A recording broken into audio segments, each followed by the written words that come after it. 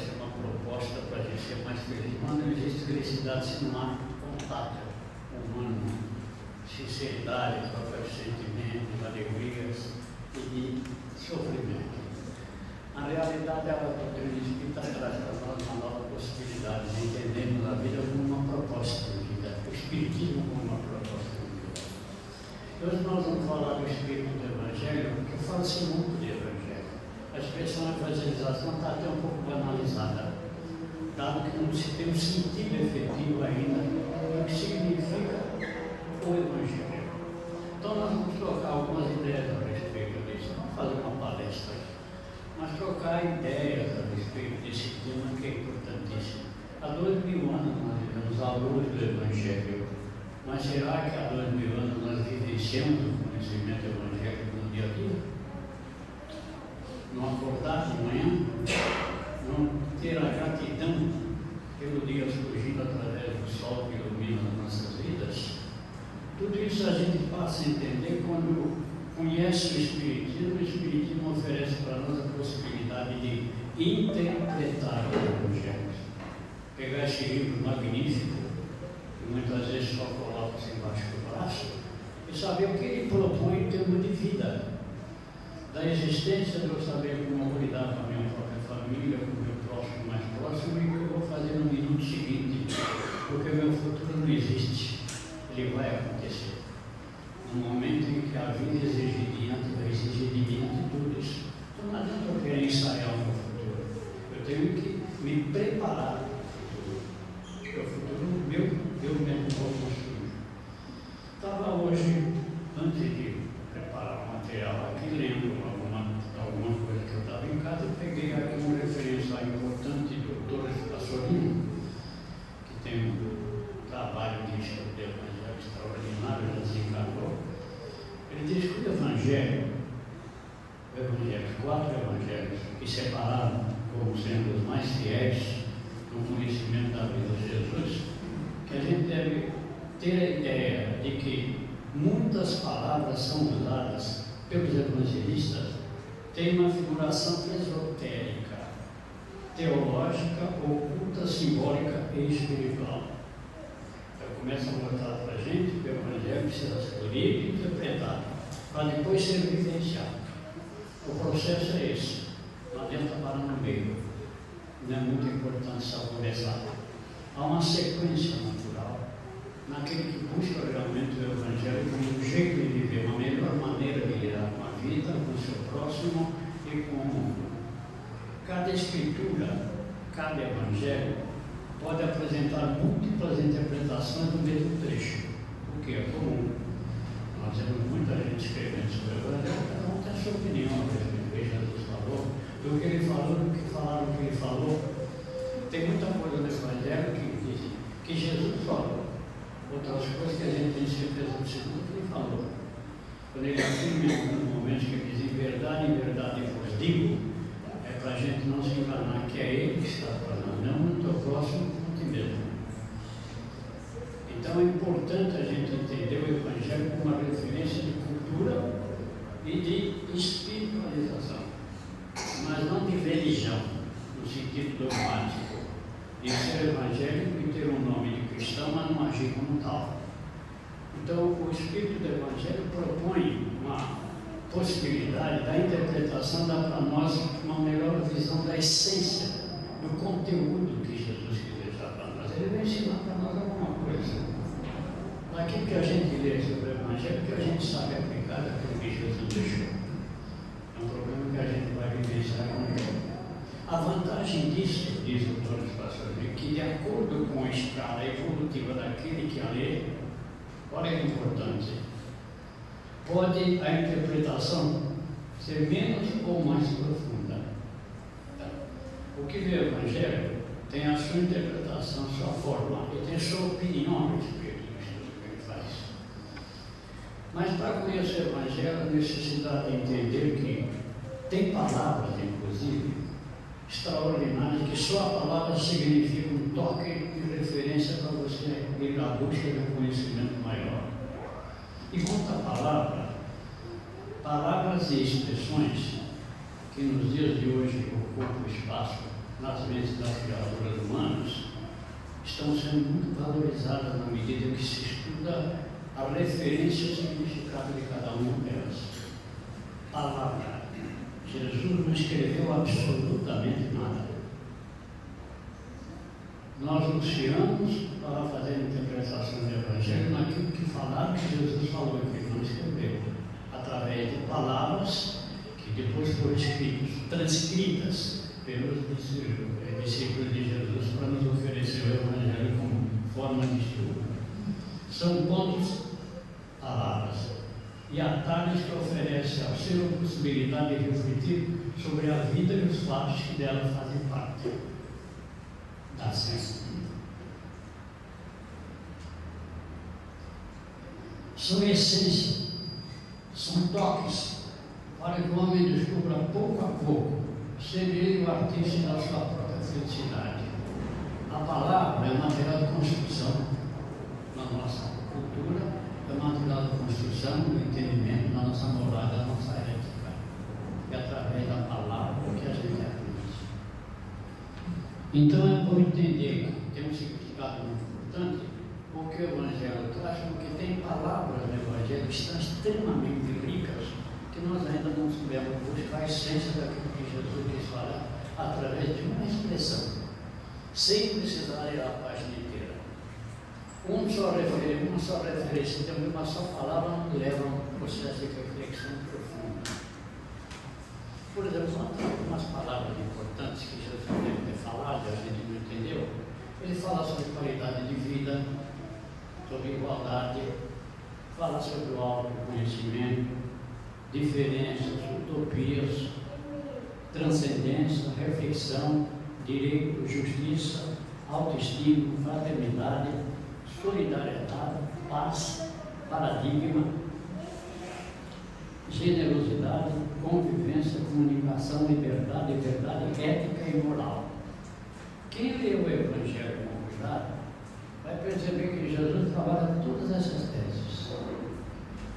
E não precisa escrever muito, através de uma palavra. A gente se aprofunda e percebe onde ele quer chegar e onde ele oferece possibilidade para a gente chegar também. Porque ele já chegou no estado evolutivo dele, no ponto que nós ainda não chegamos. Nós vamos chegar lá. Então essas palavras que são contidas no Evangelho e as frases e o contexto, o texto e o contexto, dá para nós um material riquíssimo para entendermos o porquê estamos aqui nessa nave cósmica, a Terra, como tripulantes. Nós somos nessa nave Terra como tripulantes. Não sei quem é o Spock, não sei quem é Mas na realidade, depois nós somos tripulantes mas nós não entendemos ainda. E não entendemos ainda é, para poder afirmar para nós mesmos que o conhecimento que Jesus deixou para nós realmente é o processo de extraordinária capacidade de fazer com que a gente se liberte da ignorância e avance um pouquinho mais no campo da sabedoria e do conhecimento. Então, uma mensagem aqui por exemplo, de Mateus. Parábola do joio. A parábola do joio é uma historinha. Uma historinha que Jesus contou. Simplesmente uma historinha, com algumas palavras. Mas se a gente analisar bem, nessa palavra estão inclusos, em termos de conteúdo, todos os fundamentos das leis universais. Numa simples palavra uma simples historinha. Ele diz que, caminhando com os apóstolos lá pelos campos, perceberam que o trigal estava muito bonito. O campo já oferecia a ideia de que estava prestes a ser colhido o trigo, o trigo, evidentemente, para ser aproveitado através dos recursos necessários para depois produzir o pão e etc. E os apóstolos, como nós, via de regra, apressados em que a coisa se solucionasse rapidamente, por que nós vamos colher? Por que nós não vamos colher já que parece que está na hora da colheita? Ele espera aí. É bom que você vocês têm entendido que o joio cresceu junto com o trigo. Sabe-se qual é a diferença do joio e do trigo? O joio não dá o trigo, não dá semente, mas é igualzinho ao trigo que dá a semente do pão. Jesus olha, cresceu junto. Quando eu falo cresceu junto, visão, vou ver se eu me faço entender, de planejamento estratégico da espiritualidade. Passou um tempo, nesse curso de tempo, período de tempo, a humanidade teve a possibilidade de conviver entre os seres humanos que, que, que habitam na Terra, um aprendizado, que foi sempre um apoio dado pela, pela, pela direção da espiritualidade para que o homem pudesse aprender. Chegou o momento de fazer uma seleção. Então vamos começar a entender o que Jesus quis dizer com a palavra. Jesus ensinou para nós como mestre, aliás, a única aceitação que ele teve em termos de referência de identificação e qualificação foi ser mestre e senhor.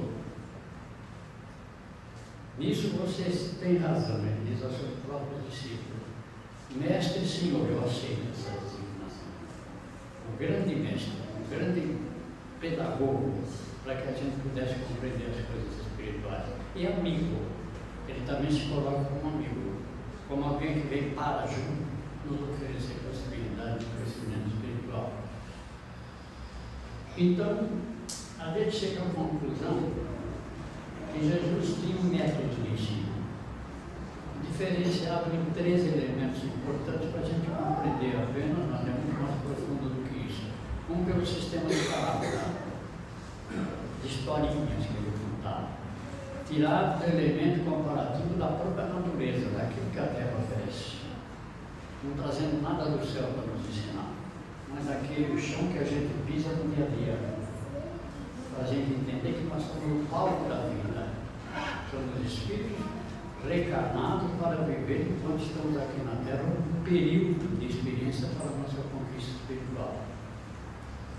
O joio e o trigo significa, dentro desse período desse planejamento estratégico, um período que a humanidade teve para que cada um, segundo os seus valores, pudesse crescer mais e aprender mais.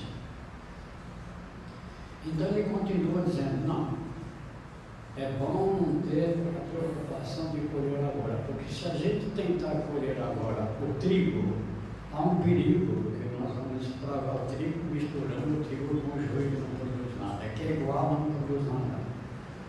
Temos que esperar. No momento necessário, os ceifeiros do Senhor virão fazer a seleção. Bom, eu começo a interpretar. Quem são os ceifeiros do Senhor? O que, que é o ceifeiro? Aquele que serve, o que tem a ferramenta para fazer o corte do trigo e depois fazer a separação necessária, evidentemente, do encaminhamento para lugares que depois a própria passagem aqui alimenta.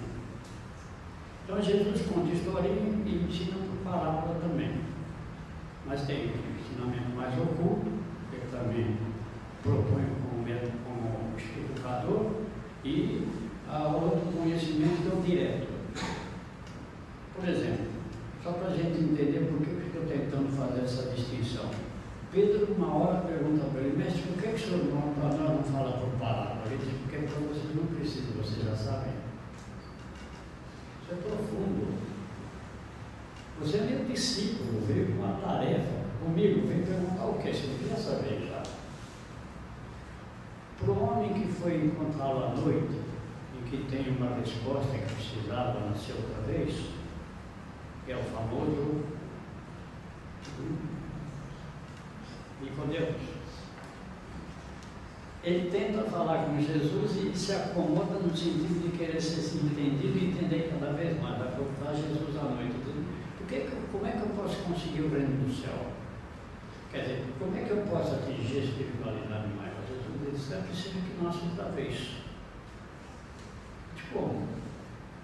Esse mestre Jesus aí parece que está falando alguma coisa, vai entender. Nasceu outra vez, a pergunta dele para Jesus é clara. Como um homem tem 90, 60, 30 anos, pode depois se ajustar para caber no útero da sua mãe novamente como criança. Quer dizer, não se confunda. Eu estou dizendo que aquele que não nascer de novo não verá o ser do céu, não conquistará a sabedoria universal. Ele ainda não aceitou. Era um doutor da lei, um homem que foi procurado e importante ele entender da lei religiosa, a sua raça e a lei humana, as leis da humana. E se eu não tenho que falei isso, se ainda não entendeu, e você é o doutor da lei, não adianta te falar nada. Você vai continuar tendo necessidade de se aprofundar no conhecimento para entender o que. E na forma mais simples, ele usou a palavra uma pequena história para passar os conhecimentos. São métodos. Ele usou métodos em termos de ensino. E as historinhas, são pequenas novelinhas que eu consegui passar para nós em termos de entendimento. Então, na do joio e do trigo, eu vou continuar um pouquinho mais para a gente ver como Jesus trata das questões através do seu ensinamento. Então, vindo o do dono da casa, disse: Senhor, não é a semente boa, não, é, não semeaste semente boa no teu campo? Sim. Então por que o joio? Porque se Deus é justo, interpretamos já uma interpretação, interpretação, mas não. Por que o joio? Quer dizer, porque o mal se desenvolveu junto com o bem. E por que o senhor está fazendo essa distinção que não está na hora de recolher? Porque não houve a seleção ainda. O período de evolução da humanidade em que houvesse necessidade de fazer essa seleção ainda não aconteceu. Será que nós não estamos no dia de hoje aqui dessa realidade? Fazendo uma melhor avaliação do que é bom e do que é ruim? O homem hoje já sabe perfeitamente o que não se deve fazer. Se faz é porque não quer. Então o espírito já está suficientemente esclarecido para não alegar que a sua ignorância tem que ser reconhecida como realidade. Ela tem que ser reconhecida como circunstância. E que não sabendo, ele não é bom, porque ele não aprendeu ainda a ser bom. Mas isso é o grande laboratório universal que permite que o espírito, através dos seus processos encarnatórios, possa gradativamente paulatinamente atingir o seu estado individual de evolução. Porque a humanidade pode não evoluir muito, mas o indivíduo, se quiser, evoluir além dos limites da própria humanidade. São duas coisas distintas. Ele está falando aqui de comunidade, de coletividade, ele está falando de a grande unidade da Terra, joio e trigo. Identificação de elementos de espíritos evoluídos, melhores são aqueles que já conquistaram as condições de merecer um mundo melhor. Os que não conquistaram a condição de receber ou se manter nesse mundo melhor terão que ser levados para algum lugar, ou não. Ou Deus acaba com os espíritos que não são bons. Elimina por simplesmente, não tem que haver uma explicação. E ele procura passar através dessa historinha de maneira bem leve possibilidade da gente começar a o valor de palavras, o que cada palavra, palavra significa, o que cada proposta em termos de conhecimento pode servir para a gente refletir a respeito da essência da própria vida, a essência da vida. Hum? Bom, aí ele disse, então quem é que plantou o joio? Um inimigo fez isso. Ele fala de dois poderes, o bem e o mal. Evidentemente, o inimigo é aquele indivíduo que ainda não aprendeu a conviver com o outro. E, evidentemente, tudo que ele puder trazer de, de, de mais importante para criar problema na vida de todo mundo, vai fazer. E está acontecendo isso no mundo e sempre aconteceu. Mas, perguntaram, queres que vamos então e arranquemos o jeito, o joio? Olha bem, ele fala, primeiro colher o que não vamos tomar cuidado. Se a coisa está meio confusa, por que, que nós não arrancamos o joio? Porque arrancando o joio, é capaz de a gente prejudicar a plantação do, trigo. Então tem que selecionar. Essa seleção vai estabelecer um rumo das coisas na medida que a espiritualidade superior desse planejamento vai ter que fazer com aqueles que são considerados joio e aqueles que são considerados trigo. Aí vem a questão de palavra. Por que, que o trigo deve ir para silos? O que é um silos? São lugares onde se guardam as sementes. Com que intenção? De alimentar uma comunidade que merece realmente aquele alimento que vai ser gerado através da somatória desse trigo que vai estar colocado nos silos. E o joio, o que é que nós vamos fazer com ele? Aí a coisa parece meio chocante. Quando a gente lê, começa a falar, mas é estranho, é pior do que o inferno. Porque Jesus está falando que aqueles que não forem selecionados para um mundo melhor, eu estou falando de mundo melhor, estou falando de mundo de regeneração. Veja bem, já estou falando no mundo de regeneração, nós estamos prestes a avançar um passo para o mundo de regeneração. Essa seleção já está sendo feita. Quem merece ficar nesse mundo e quem não merece? Não somos nós que vamos selecionar vai ser o valor de cada um que vai permitir que haja uma seleção pela espiritualidade superior através dos seus ceifeiros, quer dizer, através da grande administração universal. Porque Pai Jesus diz claro e objetivamente que Deus está presente em tudo e é extrema misericórdia. Então ele não daria castigo para ninguém. Então por que, ele reserva a possibilidade de pegar aqueles que são considerados joio porem fechos, amarrar e jogar no choro e ranger de dentes. Será que nós seríamos capazes de fazer isso se fôssemos Deus? Pegar espíritos realmente jogar no lugar qualquer, porque eles têm que sofrer mesmo? Ou teriam que dar uma destinação dentro desse projeto mais amplo? Tiveram tempo de aprendizado, mas ainda não conseguiram aprender tudo para merecer um mundo melhor porque o mundo está prestes a chegar um referencial em torno de mundo de expiação. A categoria de planetas, segundo a indicação dos livros de Kardec, nós estamos um pouquinho acima do primitivo, que é o mundo de expiação e de prova, joio e trigo. Expiação e de prova. Vamos ver o que, que você tem para ser construtor do seu próprio destino. Depois, então, nós vamos lá para você a escola necessária em função dos avanços que você teve. Melhorou? Fica numa terra renovada. Se não melhorou, existe o chamado remanejamento cósmico, isto é, a espiritualidade superior sabe onde vai situar essa comunidade que não aprendeu direito para continuar aprendendo nesse outro mundo e esses que merecerão ficar num mundo melhor, livre já de todos os problemas, não absolutamente. Em condições de compreender a vida como uma proposta. Entender verdadeiramente qual é a verdadeira finalidade da vida. Eu perguntaria, será que nós já sabemos disso? Um minuto de silêncio. Será que nós sabemos qual é a finalidade da vida?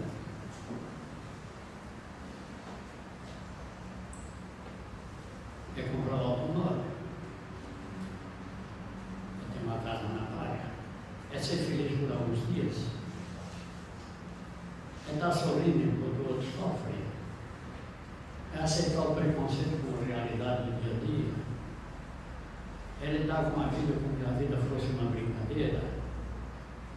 O que, que nós estamos pensando em relação à verdadeira finalidade da vida?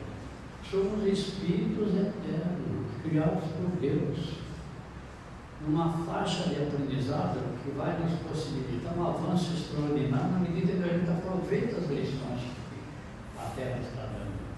Tanto que nessa crônica, digo, nós somos viajantes, nós somos ah, participantes dessa nave cósmica. Nós estamos vivendo um tempo numa nave cósmica com um aprendizado espiritual. Mas vai adiante. Então, o que, se faremos, o que faremos com o joio? Serão amarrados em fechos, jogados onde há choro e ranger de dente. Eu acho dura essa referência. Eu não acredito que Jesus tivesse ideia de amarrar ninguém em fecho para jogar lugar nenhum. Seria um absurdo aceitar isso. Questão de palavra, mas é também questão de interpretação. O que ser amarrado em fecho e ranger de dentro? Vai ser levado para uma outra escola cósmica, primitiva ainda, um pouco acima de primitiva, para aprender aquilo que não aprendeu, aquilo que poderia ter aprendido. Não perdeu tempo e o que ganhou, o que aprendeu, ele vai levar para a nova civilização, onde ele realmente reencarnar a contribuição do conhecimento que ele já adquiriu aqui, apesar de não ter acertado 100% naquilo que ele queria dentro do projeto. Eu estou falando de nós, eu, estou falando de nós, podemos aceitar ou não. Podem até dizer, esse moço está falando coisa, não me sinto espírito, tudo bem, é questão pessoal. Agora, se entendemos a proposta espírita, temos que entender que existe uma justiça divina e Deus é extremamente misericordioso. Toda a possibilidade que ele nos oferece é de aprender. O próprio sofrimento é uma referência errada. Porque não existe sofrimento, existe aprendizado. Em tudo se aprende. Agora, o aprendizado se faz de que jeito? Na medida que se vive. O amadurecimento gera o que? Gera o trigo. Se o indivíduo se tornar um indivíduo bom ele passa a ser não só importante para ele mesmo, que ele conquista a felicidade, o prazer de ser feliz, o prazer de ter serenidade, e ao mesmo tempo ele passa a compreender de forma fundamental que ele só é importante se ele ajudar a conviver com ele. Estabelecer o processo de convivência, não é só viver. Quem não entende a finalidade da vida pensa que a vida é só viver. Basta ter automóvel, basta ter roupa, basta ter comida, nasceu, morre, viveu. Mas será que é para isso que o Espírito veio para a Terra? Será? Por quê? Não temos que acrescentar nesse viver alguma coisa? Não temos? Qual é a outra expressão? É uma palavra, por exemplo. O viver é uma palavra. Entendemos o viver? Sim. Basta nascer, comer, se movimentar e morrer. Conviver dentro do contexto da vida, ampliando o conhecimento, para tirar da vida o proveito necessário e evoluir o que precisa saber.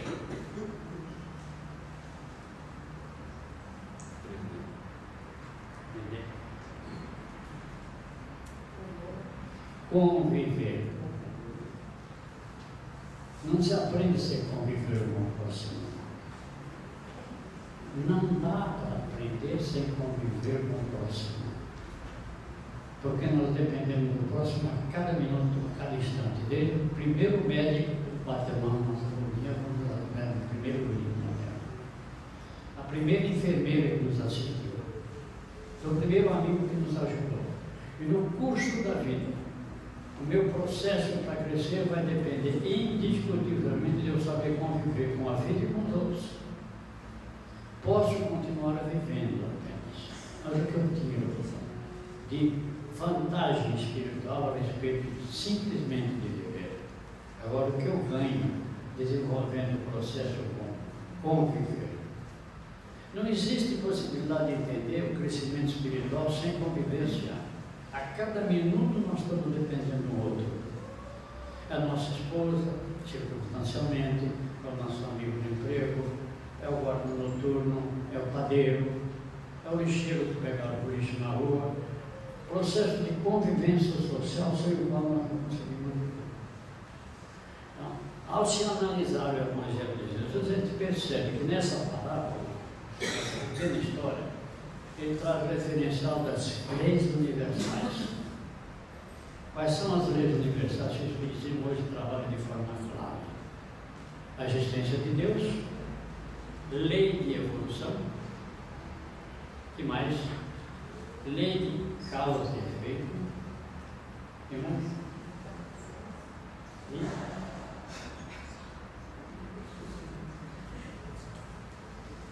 Lei de causa e efeito. Mortalidade. Mortalidade. Pluralidade dos mundos habitados. Pluralidade dos mundos habitados, comunicabilidade com os espíritos e com outros planetas. Esses são os fundamentos das leis universais. E Jesus aqui mostra claramente isso. Ensina que Deus é bom, nós temos que saber lidar com a vida, nos tornarmos trigo na medida que o, o aprendizado surge do nosso trabalho, e vai haver seleção. E onde é que está o juiz das nossas ações? Será que está logo depois da nossa morte, numa bancada com promotor e juiz, ou advogado de defesa, onde é que está? Na nossa consciência. Nós levamos o passado dentro da gente. Nós não entendemos isso. Passado é história sendo mostrada através de uma fotografia do lado exterior da nossa vida. O passado, no sentido essencial, está dentro de nós é propriedade nossa que nós já adquirimos pelo desenvolvimento da nossa própria existência. Então, a parábola e a resurreição de Jesus explica exatamente isso. Agora, é importante considerar que o Espiritismo traz essa proposta. Existe sim a lei de evolução. A lei de evolução é um progresso. Existe a lei de causa e efeito, quer dizer, o que se faz você obrigatoriamente tem que responder em termos de consequência. Existe uma que eu não esqueci, só estava esperando para deixar por fim, a que é fundamental. Livre-arbítrio. Liberdade de fazer o que a gente quer, até certo limite. E saber aplicar melhor essa liberdade de fazer. É a capacidade de nós produzirmos a nossa própria construir o nosso próprio projeto individual. Se a gente analisar bem essa parábola ou outras tantas histórias de Jesus, nós vamos tirar coisas extraordinárias em termos de conhecimento que o Espiritismo traz no dia de hoje de forma clara e objetiva. Não está mais no sistema apenas de parábola, no sentido figurado. Hoje está no sentido de se entender. Então nós podemos estar no lugar de Pedro quando ele pergunta a Jesus, por que para nós não por palavra? Jesus vai dizer, porque você já sabe. Está entendendo? Você já sabe. Então, você é responsável pelo seu próprio destino, você teve o livre-arbítrio, todos os recursos disponíveis para poder produzir o melhor. Não produziu? Quais são as consequências naturais? Novas reencarnações. Em que lugar? onde o mérito possibilitar que você atue para que você possa continuar aprendendo. Então, o que eu quis levantar aqui hoje foi apenas a questão da gente, quando falar de evangelho, vamos mudar um pouco a temática evangélica, está um pouquinho. É, o evangelho está um pouco banalizado no meu entender.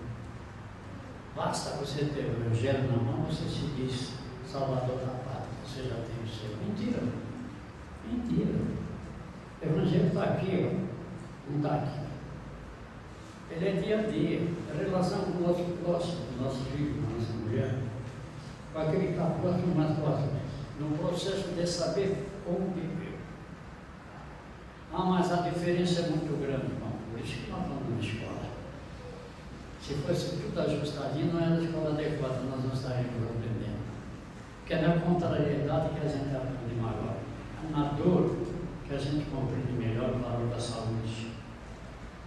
Isso no sentido físico, no sentido espiritual ainda mais.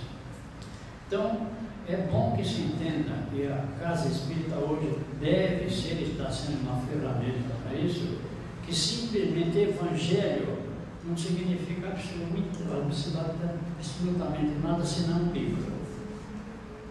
Agora, como Kardec diz, ó, o Evangelho segundo o Espírito é livro para ser interpretado. O Evangelho é valiosíssimo se a gente souber interpretar em essência daquilo que Jesus quis ensinar para a gente. Senão nós vamos continuar orando mais dois mil anos do Pai Nosso sem conhecer uma frase, sem tirar de uma palavra do próprio Pai Nosso o conhecimento para a vida. Perdoai, Senhor, as minhas dívidas, assim como tudo é condicional no Pai Nosso. Seja feita a sua vontade, assim na terra como no céu. Será que nós analisamos isso? profundidade? E há dois mil anos nós repetimos uma frase que diz, um trabalho que diz que é basear, basear no Evangelho de Jesus. Sabe que nós paramos para analisar cada palavra, Pai Nosso, cada frase Pai Nosso, cada proposta que cada frase propõe para a gente ter um relacionamento para saber viver um pouquinho melhor? Não sei. Cada um de nós é que deve cuidar dessa matéria. A proposta está aí no Evangelho. Jesus deixou para nós como referência o caminho. Ele é caminho da verdade da vida. E ninguém conquista a sabedoria se não seguir as orientações que ele deixou para nós. Que Deus nos ilumine, que a gente tenha muita esperança, muita força, crença, muita crença em nós mesmos. Não precisa tanta crença em Jesus. Você tem muita crença em nós mesmos, naquilo que nós podemos realizar como espíritos no processo de evolução. Que Deus nos ilumine.